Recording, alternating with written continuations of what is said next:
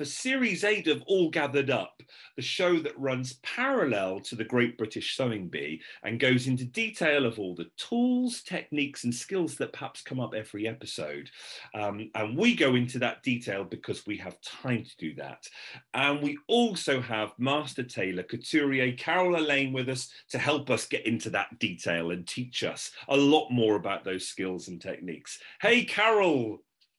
Hi, Stuart. It's nice to be back. Isn't and it just? It really is. And I can't help but admire your amazing gingham shirt. You finished it. I have indeed. Yes. Let me do a little twirl. Oh, absolutely. Look, oh, the bias pocket. It's beautifully lined up. The yoke is, see, oh, you see my darts. Yep, I got the darts. It looks like you've matched the pattern as well beautifully. Hey, Oh yes, oh, on the sides. Yeah. Stuart, congratulations. Really pleased. Really Fine pleased. job. Learned Fine a lot. job. Um, I, I, can't wait to do another because uh, I didn't put any interfacing on this collar and it's much lighter and free. Yes. So good. I'm really pleased with that.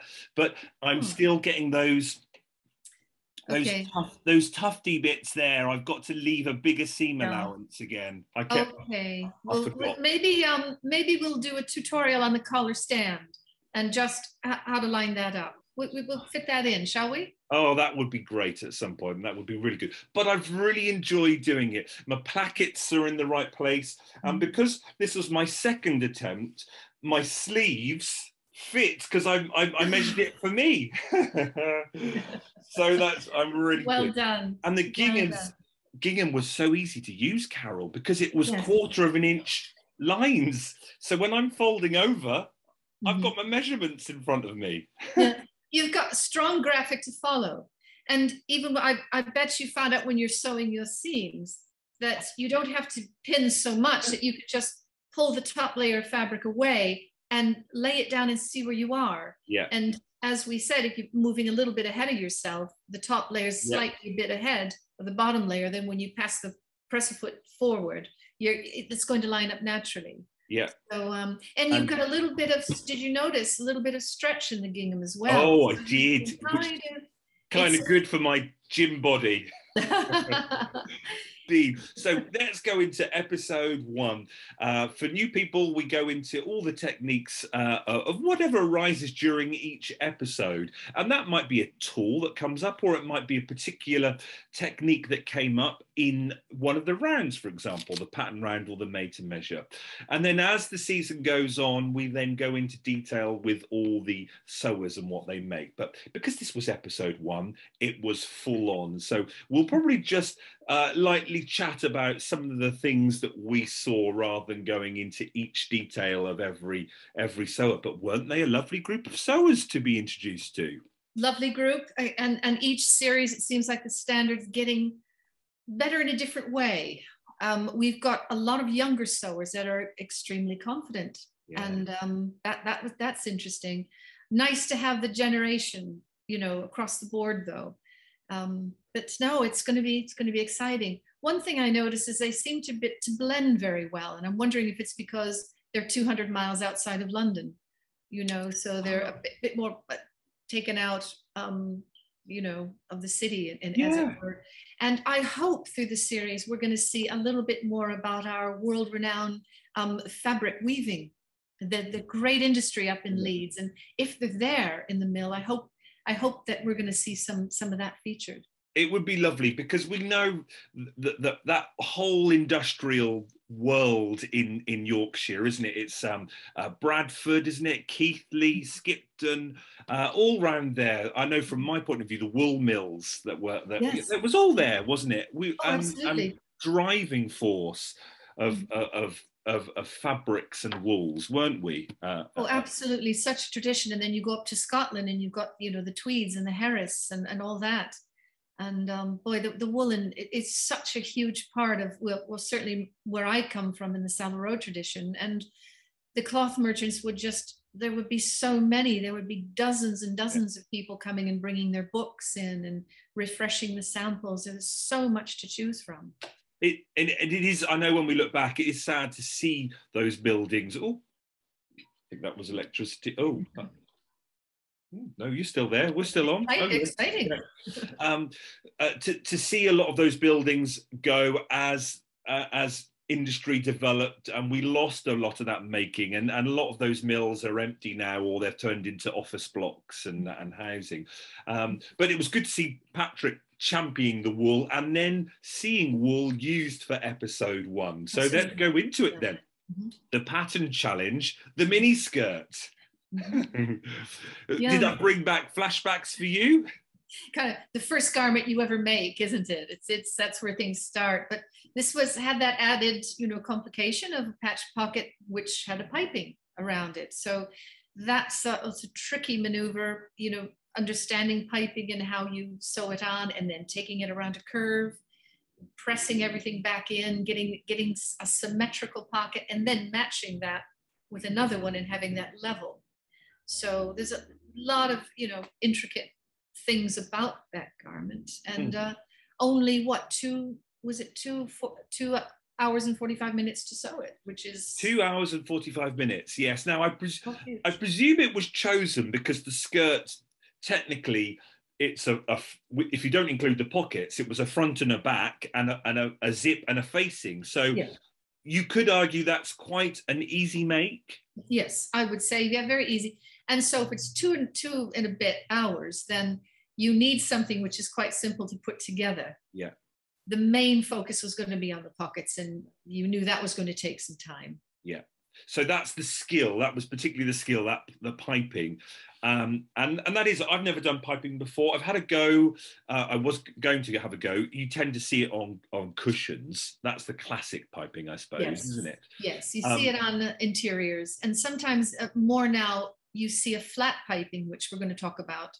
You see flat piping is an extra detail on the inside of suits between the main fabric and the lining. You'll see a contrast bit of piping, gives it a bit of flash. Oh. Hmm. So I suppose then from that point of view that the 12 sewers a comfortable make within the skirt, not not too many pattern pieces, Mhm. and then the zip, which you'd think they would be comfortable doing. So a lot of the focus was then on that piping.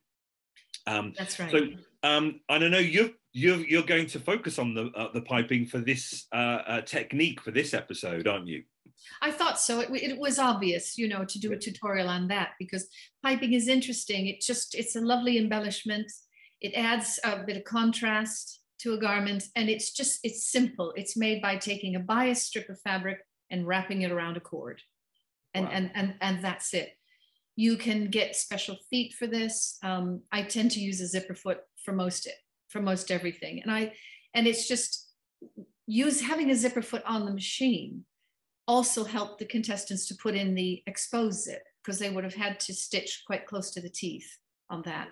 So they could just keep that foot on and, and, and do the, the, the more fiddly bits. Oh, brilliant. Well, Carol has prepared, as she did last year, uh, some wonderful videos uh, explaining and giving advice uh, and a tutorial on, on how to do it. So Mhm. let's check out our first tutorial of the season, and it's Carol showing us how to do piping. In this tutorial, we're going to be talking about how to make a pocket like this with a piped edge. Okay? So I've made myself a pattern, just got a shape on the half, and put a facing on. I've cut the pocket out of some warp and weft cloth. I'm working on the straight of the grain here, and I've applied a non-woven fusible to the other side to give it some stability. I've cut a section of bias from a piece of lining that I had, and um, it's wide enough to take on a much thicker cord than I'm using, which in this case is a 3 mil cotton cord. So the first thing to do is to take your piping cord and to sandwich it in your strip and to get the piping cord as close to the folded edge as possible. And to help you control this, you can use a set of pins just to get it lined as you go and estimate how much you're going to need to go around your pocket. Cut a little bit more because as you go around curves, you're going to have to ease in just a little bit more. You also want to make sure that you have enough to go through your facing at the top of the pocket. So once this is set up, you can give yourself a little bit more of a stable situation before you start sewing by putting in some tacking stitches. And this is good because the pins might get in the way as you're as you're sewing, so you can set it up with a bit of basting cotton and then you can take out your pins.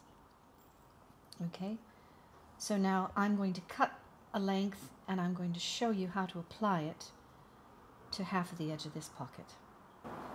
So now we have our piping cord encased in this piece of lining. It's all set up and it's ready to sew. Now the folded edge of this, which encases the cord, is on the left side of my piece of lining strip here. You can see that the foot I'm using, the foot is positioned to the right of the needle. So the piping cord is to the left, the foot is to the right of the needle. And depending how you want to maneuver your work, you can get a foot which is set up in the opposite way. Okay, so this foot has the, the presser foot here to the left of the needle. Okay, so it, you need both really, depending on what kind of job you're doing. So now we're going to set this up and we're going to begin to sew. Now I'm using a, a longer stitch. I'm at about three and a half on my industrial machine. You, in order to keep your work nice and even and consistent, you might want to give a little bit of a pull with your right hand with these fingers here. Okay, just to make sure the needle is as close to the piping cord as possible. Um, and as you go along, now we, we don't have our tacking thread, we don't have our pins, but you could just control this with your hands. Pretend your nails here are your pins. And just keep going. And let's have a look at what we've done so far. You can see what we've got here. We've got our three mil piping cord nicely sandwiched in. And then you can see that that is going to be trimmed and put on the edge of the pocket. So I'll finish this section and then we'll apply it to the pocket.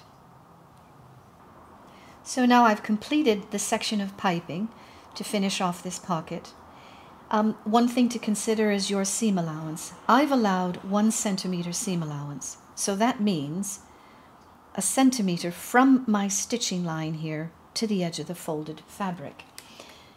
Here's how I like to set that up. I take a centimeter guide. Now I'm using my pattern master and a sharp piece of chalk to mark the seam allowance in. You can also use a tape measure to mark your centimeter, or you can use a steel hemming guide.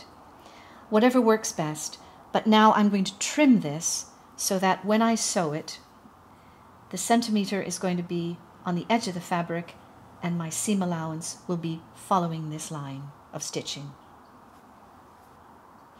So I've, my piping strip is now all prepared with a centimeter seam allowance and I'm going to show you how I apply this to just half of the pocket. So give yourself a little bit of lead room up at the top here. Position your needle as close to that stitching line you can as you can. And you can also just to give yourself a little bit of security as you're sewing this around. Set things up with a, a pin every now and then. Now we're sewing on the straight now, so you don't need to add any additional ease. You can see that I'm not exactly pushing the piping in, but I'm just encouraging the needle to get as close to that line of stitching as possible. And this is where the hands do come in handy. Don't run over any pins. Now we're on the straight, so we don't have to make too many accommodations, but as we get to the curve, we're going to be, have to set this up with a little bit of ease, not too much, because then the, the cord, the piping end will come out a little bit thicker. You can see what's happening as I put some ease in. You can see what's happening. The casing around the piping is, is starting to expand because it's on the bias. So it's becoming bigger.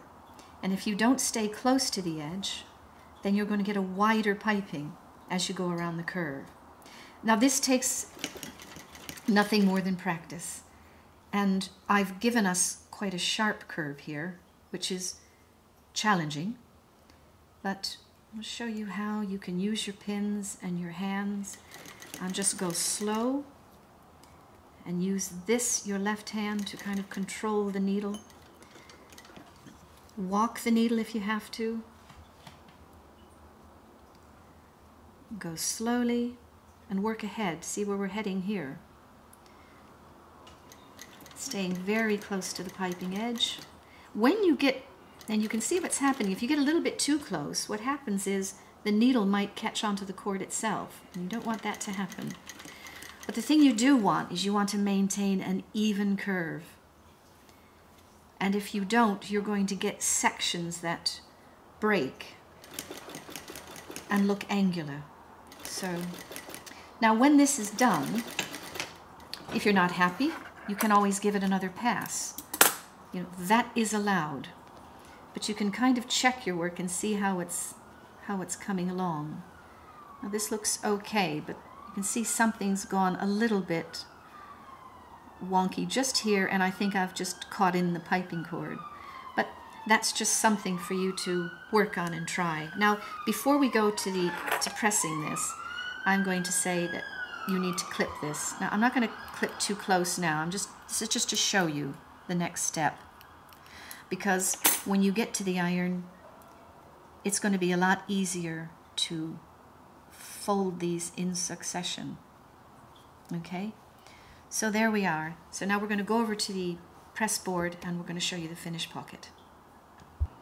So now you can see our finished pocket in the reverse side and how I've pressed it after I've clipped close to that stitching and I've pressed it around the curve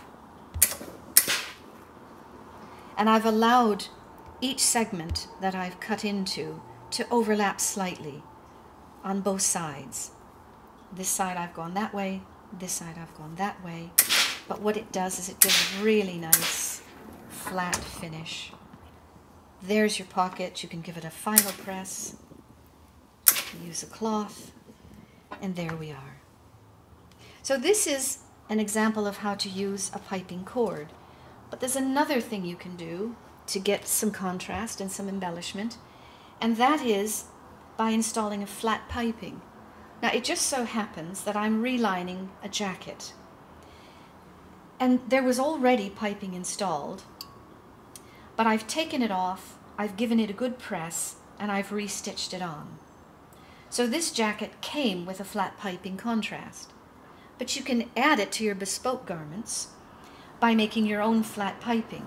And it's the same thing as we prepared for our corded piping um, by cutting a strip of bias and folding it in half and giving it a press. So you can prepare your own. And then as I was working on this jacket, of course, I removed the old lining. I made sure I had the care label intact. I set up some notches here and there so that when I put this back together, I can control the ease that was originally in the lining. And then I will then go on to cut my new lining pieces.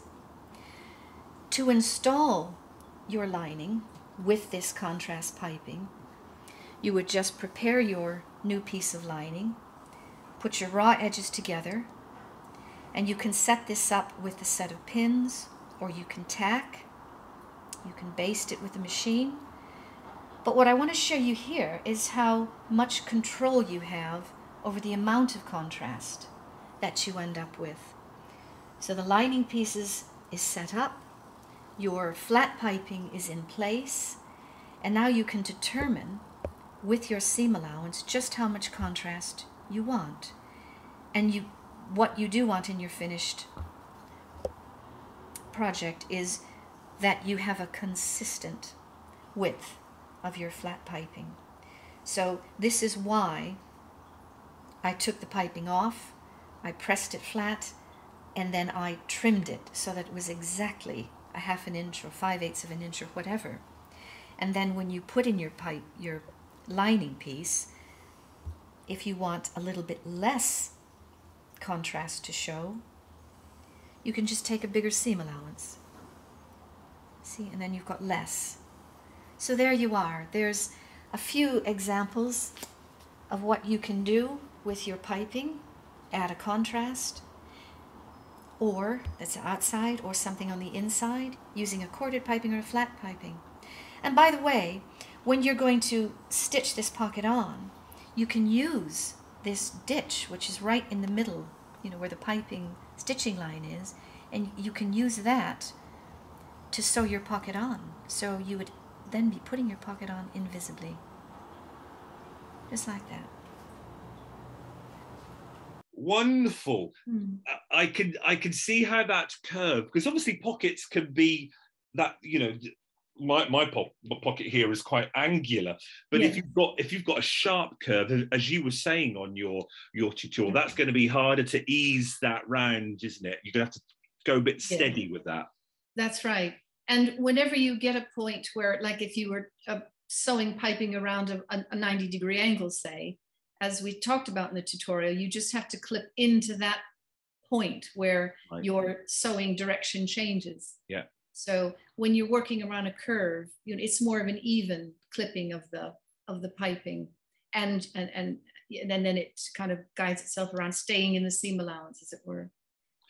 Hmm. And when we look at the contestants with their piping, were you were, were you seeing uh, evidence of, of, that? Of oh, yes, that I can see where they've struggled. Perhaps I know we didn't see too many close-ups, but when we when they were showing off um, the the finished sort of catwalk of them, did you spot anything there? Oh, absolutely. I mean, uh, some some people had a, a real tricky time with it. You know, some people sewed not not up to the piping cord but they sewed far enough away where you could see the the make of the cord itself. So you could see the stitching line uh, of the oh. manufacturer, and then they were outside that line. Um, yeah, there was some. It, it is tricky, and and everything that happens when you rush and you don't prepare, it all showed up. Yeah, well, um, and that's the nature of the program, isn't it? That, that's exactly. the time limit for you, yeah. isn't it? Yeah. I I felt sorry for. I think it was was it Steve who who ran out of he he did he didn't cut his piping long enough. Oh yes, it was that too short. Such, yeah, that's such a disaster. But you know, it was yeah. it is it Angela who made her own piping? Yes. Now they obviously have the choice to use pre-made piping, so you didn't have to worry about putting the cord in and making your bias binding like you showed us on the video. Yes. It was already pre-made and sewn in. Mm-hmm. But Angela made her own. Now that's impressive, isn't it? It is impressive. And I think that's one, if you know what you're doing and if you've worked with piping and now you're in a competition, it's one of those things that you can do to get yourself an edge. Yeah. In the process. So she she capitalized on that, did and, and did a really, really fine job of it. Well, because how long would that take? I'm just trying to work that out process. You've got to cut the bias, mm-hmm. you've then got to put the cord in, You've got, then got to fold over, as you say, get the zipper foot, and then sew that in. So what's that going to be? Is that 15 minutes at least? I'd say 15, 15, 20 minutes could be a half an hour. Yeah, sure.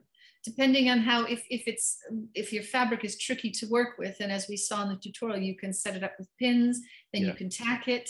So that those are a couple of extra steps before you even put the two together, your, your piping and your fabric together. Um, so yes, it would eat up a lot of time. Now, something I wanted to ask you on your tutorial. Um, I've just got a bit of paper here. You you cut your pocket out to, and you have the facing included because obviously we know that face is going to get turned over. Yes. So you sewed your your um, piping up the edge. So when you turn your facing down, you get a nice edge of piping there. Yes. It seemed to me when I was watching some of the bees, some of the piping seemed to be going that way. What was actually going I, on there? Do you know? I noticed that as well. It, it looked a bit awkward to me, and I think they just they were instructed on the pattern to just turn the piping in, you know, make a 90 degree turn, oh. and then put the facing over, which left a top yeah. of the piping. It left that like you know, showing it. it wasn't yeah. that. Um, and so I couldn't, quite, I couldn't kind of work out how how how it was made or what was going on there? Because some some some of them were more curlier or curved rather than it Mhm. going That's right. like a hook over the back. Yeah, I wondered if you were going to ask me about this, so I actually brought the pattern. Oh, look know. at that! So I don't know if you can see it, but the side of the pocket goes up, and then here's the facing line. That's it. I took a little turn in, so I've taken off about four or five millimeters, Yeah, so that when you turn this around, um, it actually it actually goes inside the I edge. see. Yeah, and that that means that, that the outside is going to be a clean edge and you're not going to have two rows of piping you know fighting each other so and then you'll get that nice. The piping should literally go up and over, or look like it just stops. yes but it doesn't stop before the fold line. No, no. it ca- it carries on. It's part of the top edge of the pocket and it doesn't stick out. And you're right that looked a bit awkward. Yeah. so that was that was per instructions i'm sure. Um it when you saw the, the, the bees this is our, our first time seeing them and i know they had a lot of footage to put in. We had a lovely little bit about the history uh, uh, which was great seeing that about the mill and, and Leeds and, and everything. Um, but um, you, you could see some of the bees struggling with that and all you felt for them. And then of course mitch uh, he was having problems with his machine and, and the thread and the big bobbin on there or the, the cone. It looked difficult for him didn't it it seemed like everything went wrong. If it was it was just murphy's law from start to finish. If something could get messed up or fouled up or accident or it, it was going to happen it did. And it was a it was a really frustrating string of you know catastrophes for him. I, I really felt bad and i it's it's difficult. When the red light is on and the competition takes takes you know Yeah. it, it starts for real um I always think they should just do one episode where everyone just finishes and nobody gets cut. And I said then- that. Yes, I said that on our other show. You Yeah. feel it's they should do like what they do with Strictly and have the first week where they just have mm-hmm. fun making. They can get their nerves so they can make mistakes and but not worry about it and and and try and enjoy it more. Well, exactly. I mean, it was it, there was some nerves in, in the in the sewing room. You could tell, and it affected the performance. You know. Oh, I and as we always say, I can't even begin to imagine sewing uh, uh, under that pressure and with someone chatting to you, with cameras in you, or or maybe a producer trying to get the right shot. that is that's hard. Exactly. That is hard. E- Exactly. Full- exactly. full- hats, full off, hats off to them. Yeah, absolutely. Um, what do you think about in that round the the choices of wools? Because they had loads of wools in the haberdashery there. There were some wonderful colours, and their choices of piping Mhm. colour wise. Yes, there was some uh, which had a lot, uh, really too much going on. You know, the check pockets and the yellow zip and all that. That was just that was a bit too bold. I really liked. I think it was Marnie who did a kind of an orangey and gray tweed, and then had a dark, uh, dark slate gray piping. Yeah, like that was really handsome. That one. Um, and then, then a few others. Of course, Angela's was very nice. Yeah. Um, there was one. I think they said it looked a bit Chanel. Uh, oh yes, I think that was that was a, a green with a white piping. Yeah, that was also very. That was really striking as well. It- do you like working with wool? Is it I do. to work with? It's so beautiful to sculpture. It takes steam very well. It's forgiving. Um, you know, it takes ease very well. It's stre- it just sculptures beautifully, and um, and then you've got such a variety. Yeah. Um, no, it's just lovely to work with. It's it's wool is the real thing. Oh, I, well, it and, and I'm in, in my wool shop, so it was lovely seeing it used.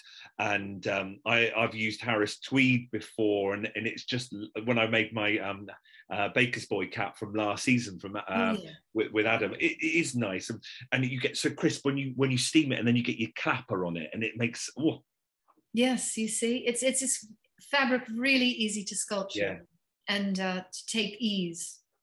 Well, well, let's look at the the the, the results of that round. Mitch was um, 12th out of the 12 sewers, Poor and Steve 11th.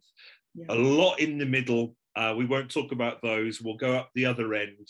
Uh, Marnie was second and Mhm. uh, Angela was first, and it was. Uh, it was a it was a close call there. They look both beautiful. Do you think you can perhaps guess why the judges went with Angela rather than Marnie? Or I think that Angela's made her own piping, right, and the effect of her finished piece was it was very striking. yeah, You know, it blue. She had a solid and a print. They they went well together. Um, but it was it, and it was more of an eye-catching garment. Where Marnie's was a classic. It's it's certainly a garment I would wear. Marnie's before oh, it looked lovely. Angela's because Yeah. it was really tasteful. Yeah. It was neutral. It looked like you could take that skirt absolutely anywhere Yeah. and it would work. So, yeah, from a merchandising point of view, Marnie, I would have chosen, but I think Angela came out ahead because of the, you know, she wasn't afraid to coordinate Mm. two cloths which were different but went very well together. And But- then she took that extra step.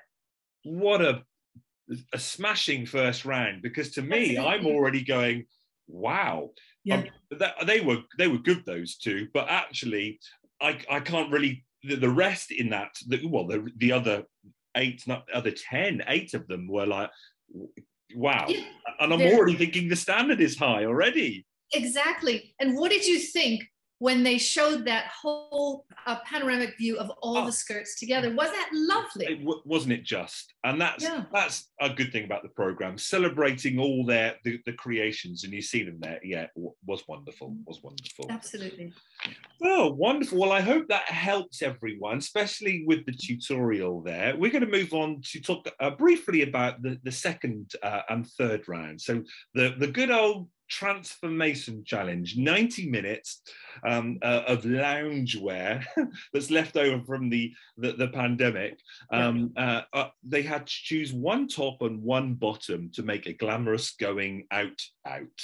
Yes. something for Yes. a party or, or or or something like that. Mm. um a fun round. I know what we think about this round but it's it's it's a different part of the brain. So it might challenge the sewers who are more creative because it is isn't it? You you either follow you're either good at following a pattern or you're you're just actually really creative. I don't know whether do you have both that or is normally one person better at another another skill? I'm not sure. Well, this this round certainly brings out that fact Mm. if they do, and I think it, it's um it's, it's an odd round to, to sit through um, because the time is so short, the brief is so wide, Yeah. and um, for you top for going out, you know, and it's going out where, and as I said, we have two dif- different generations, so the person that won was a child of the 80s when you have people that weren't born yet Yes, know. so trying to interpret that so that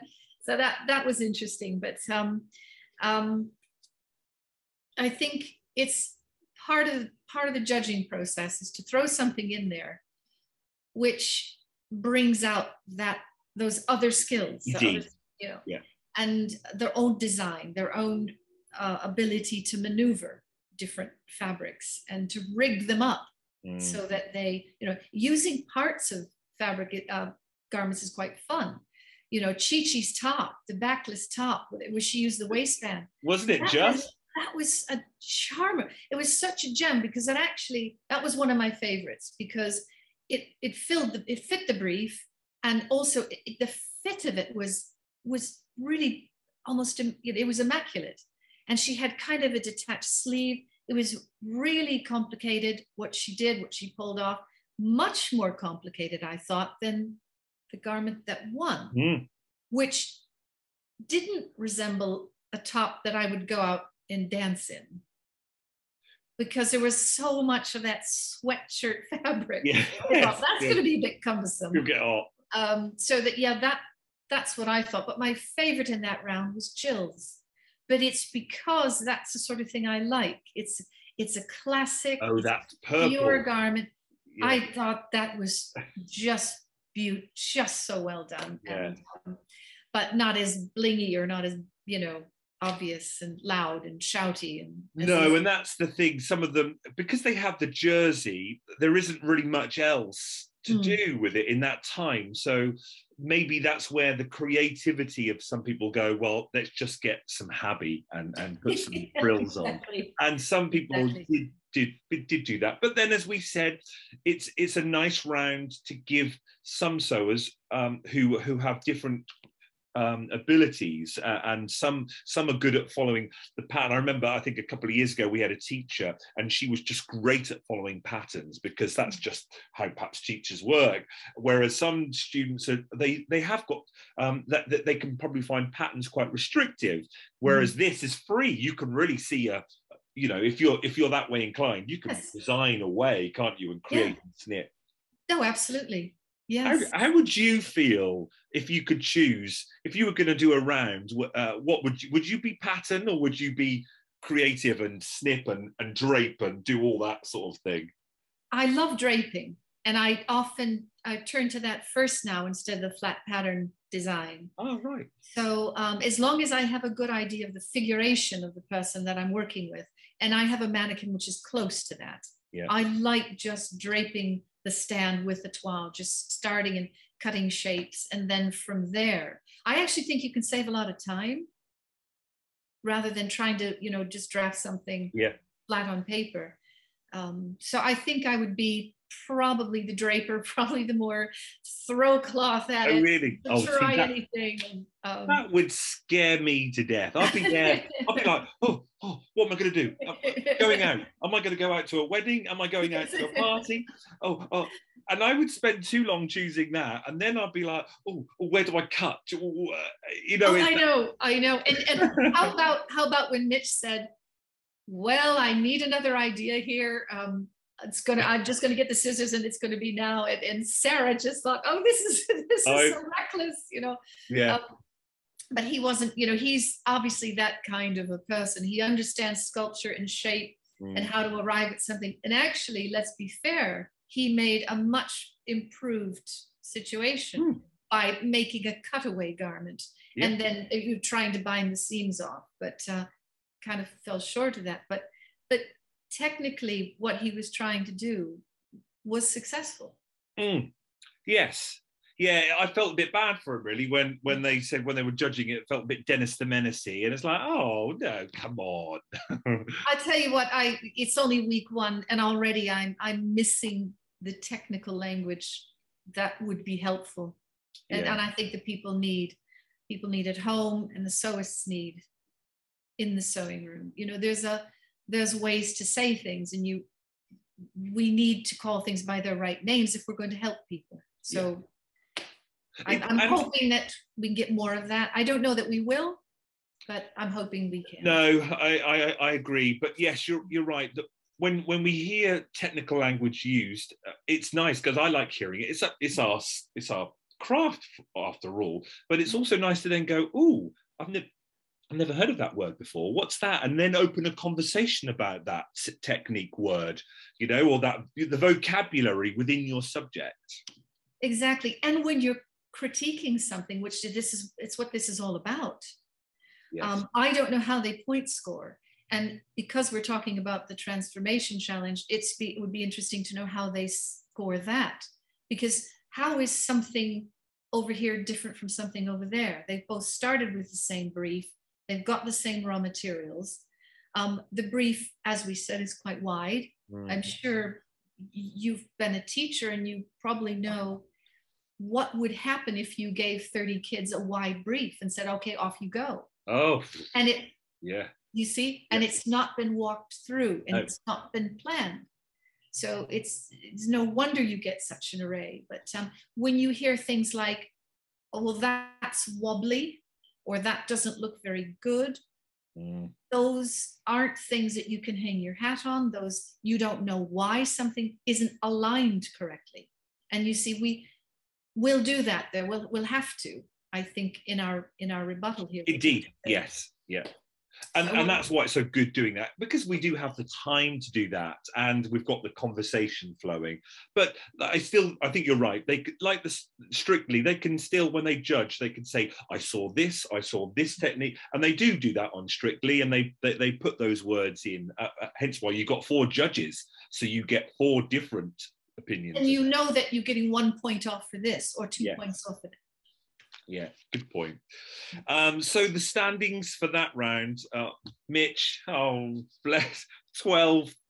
Um, Angela down the other end. So this Yeah. is where I was saying creative type or pattern type. So perhaps um, struggled yeah. with that one. Yes. And then at the top, we saw someone new, Man Yi, uh, second, and then Yes. Marnie again first.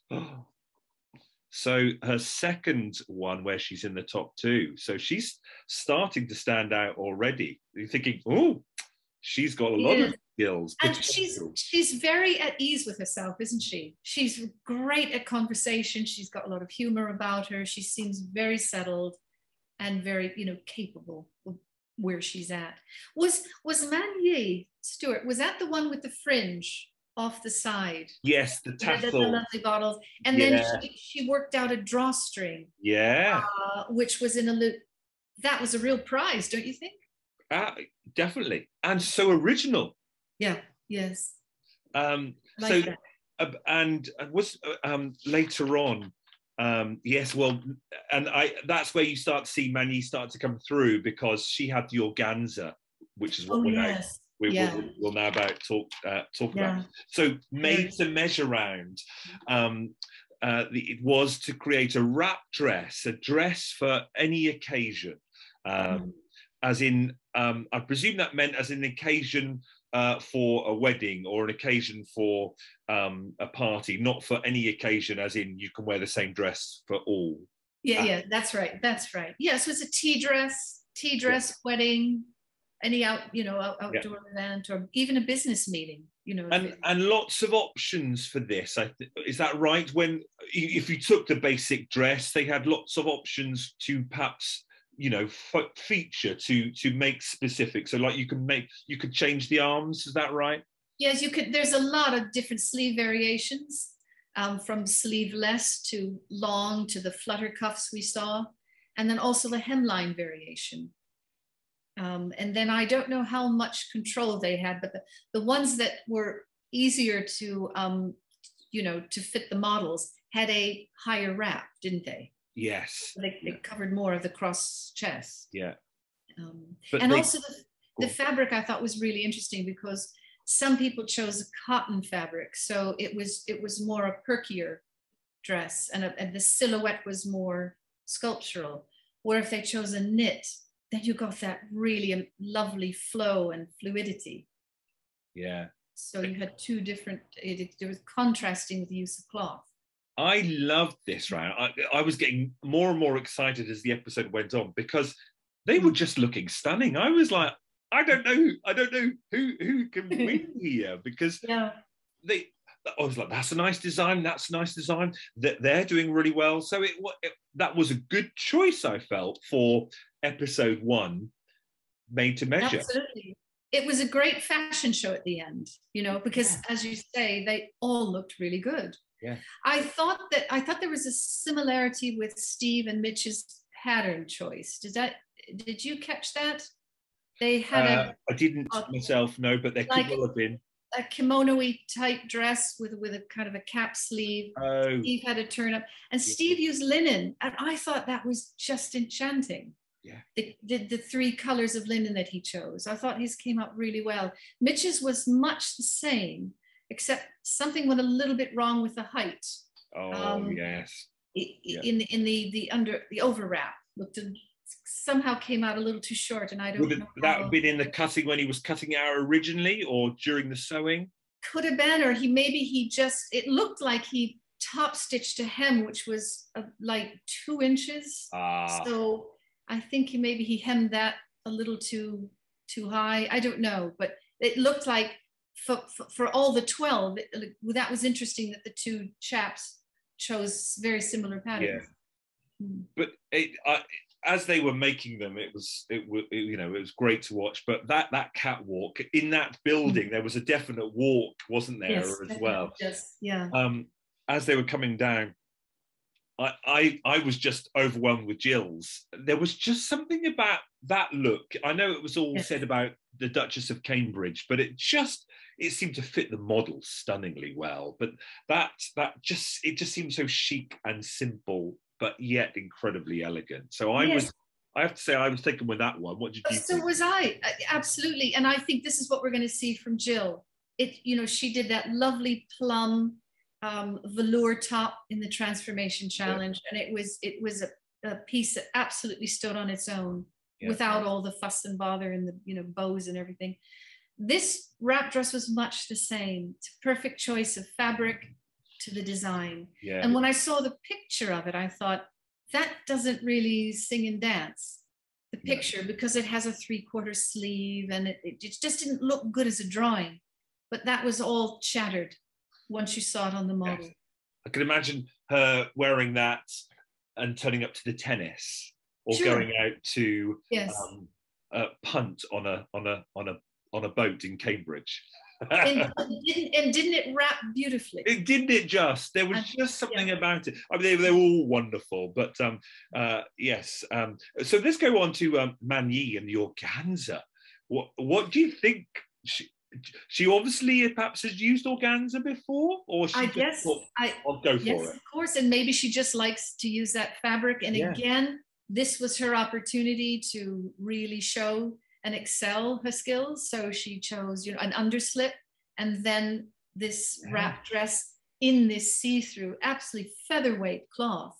I thought it was a, a really good choice. But again, that dress had a completely different look about it. It was outward, it was get head height Mm. where Jill's just kind of draped, just just dripped beautifully, yeah um, for lack of a better word. Um, the one I really liked um, was the one who used her gran as a inspiration, and it was an African print.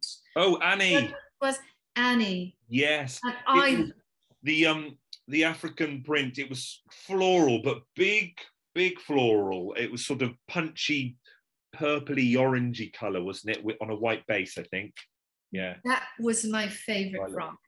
And and she had on a bias frill which was quite long and it it, it went from the waist all the way down to the hem and around and back up again.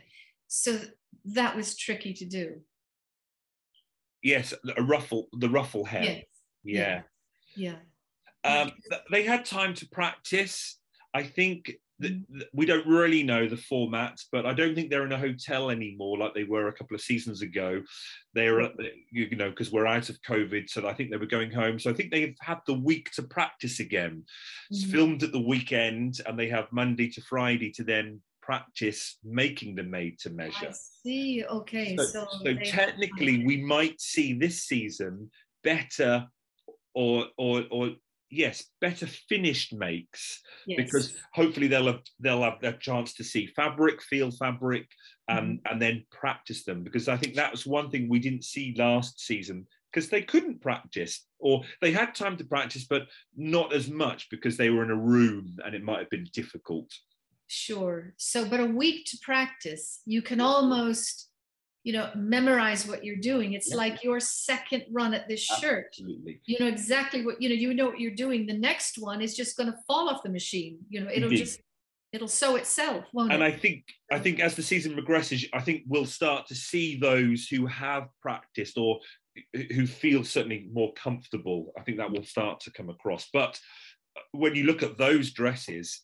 uh, on on episode one, week one, Mhm. you think, "Ooh." yes.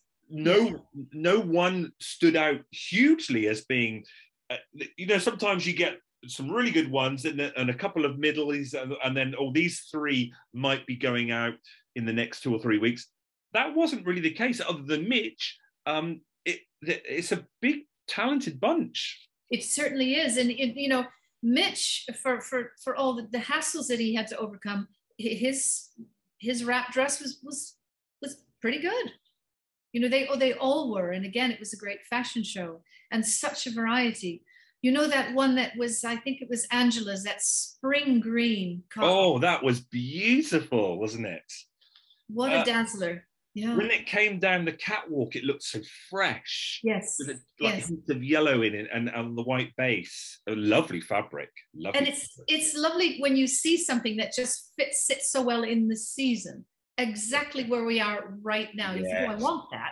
I want to wear that yeah, yeah. Mm, now.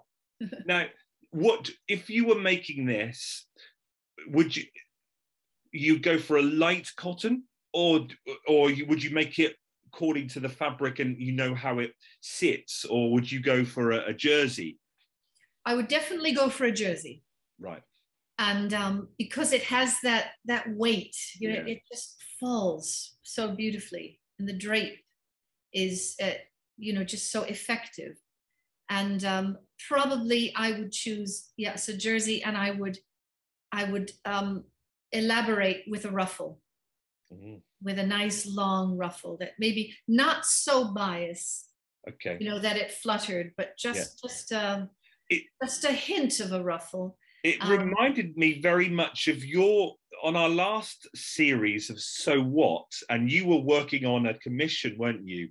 I think we called it the Bond dress. That was jersey and it was long, wasn't That's it? right. Yes, absolutely. Yes, yes. And, And- easier to control, and it's it's it's I don't know. It's easier to work with, but it's that bounce that it has. Yeah. And when you have a bigger A-line skirt, it just gives that that just that little trampoline effect when you're wearing it. The other thing I would do is I would have an even hemline. I don't think that the curved hem, the asymmetric hems, work as well in that style. But um, and I think Jill's was an even hemline, if I remember. Uh, I think so. Yes. It, Yeah, came down. Yes. Yes, and it was. Yeah, because if the Duchess of Cambridge is wearing it. I'm- yes, exactly. well, I'm Oh. going to look what I've got. I thought, do you know what? As we watch it, I get so inspired to sew, and I know you're sewing every day as part of your, your job. Um, but I went on to Sew Over It, um, a, a, a shop in London, and I'm going to make a wrap dress. And look what I did today! I cut out the pattern pieces. What about the bodice? Do you have the bodice? Can I I see? do. Ah, there we go. Okay. Oh, and it's so it's got a. All Okay. right, excellent. Oh, go for it. Yeah, I'm going to make that. But I, I was, I was, I think I was humming and hawing over fabric, and I've got some poplin cotton here in the shop, and I thought poplin would be light and fluffy. But don't know whether you can Yes. see up there. I've got some jersey that hasn't really sold, um, and there's a solid Oh. grey. There's a solid grey jersey at the top there. So I think after Go you just it. said that you would do jersey knit, I think I'm going to go for a jersey knit. There you go. And does it have a facing on it? Does it have a um along that front edge? Uh, is there a facing piece, and how wide is it? No, there's no facing at all. It's literally, it's there's hardly any pattern pieces. There's like six Okay. pattern pieces. I've got a, um, there's my back bodice. Right, right. A cut, Front, a, uh, cut a pair, cut a pair, Mhm. and then it's the sleeve. Yes. Oh, so it's a flutter sleeve. Oh, is that what? Yeah, See, I don't know. See, this is all the vocabulary. You see, this is great. that's great. it. That's it. Is that a puffy sleeve? Do they want you to put elastic in the bottom, or is it just a butterfly? No, no, it's just a butterfly. You don't have a picture. Okay. No, I've, Okay. I've, it's annoying. I- Um, no, it's. Oh, I might have. Oh, I'll, I'll put. I'll edit one in so everyone could see it. Okay. Um, it, it, because it was a, a download, it came.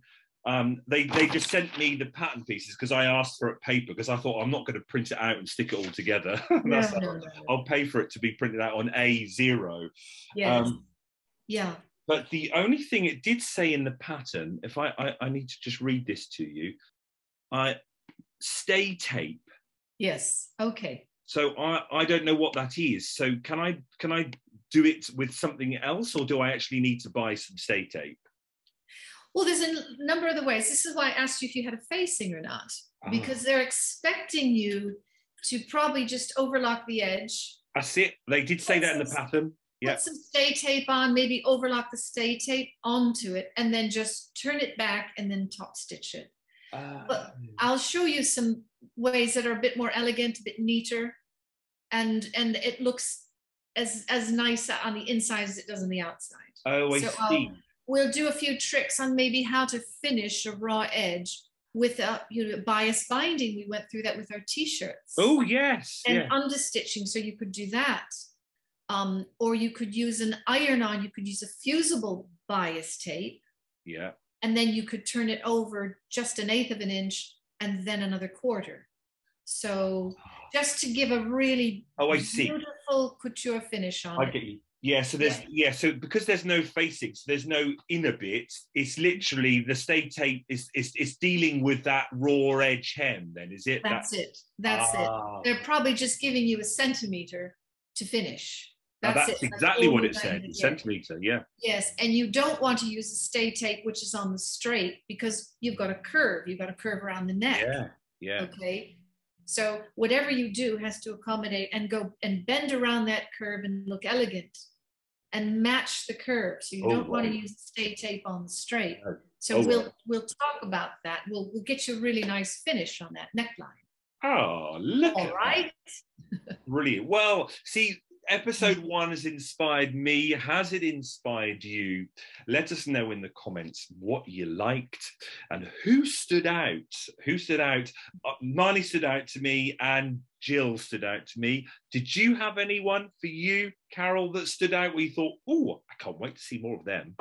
I can't wait to see more of what Jill's going to do because she has that lovely classic eye. She's a very pure seamstress and um, she doesn't fluff around with things. She just makes very classic, very sturdy garments. Fabulous. Sad to see Mitch go, especially on week one. But as always, we know the show format. Someone does have to leave. Um, I hope you'll come back and join us for next week. It's sportswear. I And think we'll, next, we'll probably see some new technical fabrics. Yeah. We might see a little bit of scuba type fabrics. Boom. Um, and then we'll have to insert quite a sturdy zip if it's an outdoor piece. So that that that'll be a, a challenge. Well, whatever techniques come up, we'll we'll try and focus in on one of them and then give more detail on that for next week's show. Hope you enjoyed it. Let us know in the comments so we can keep that conversation going forward. Otherwise, Carol and I will see you next week for week two of All Gathered Up. Thanks, everyone. Bye. Bye.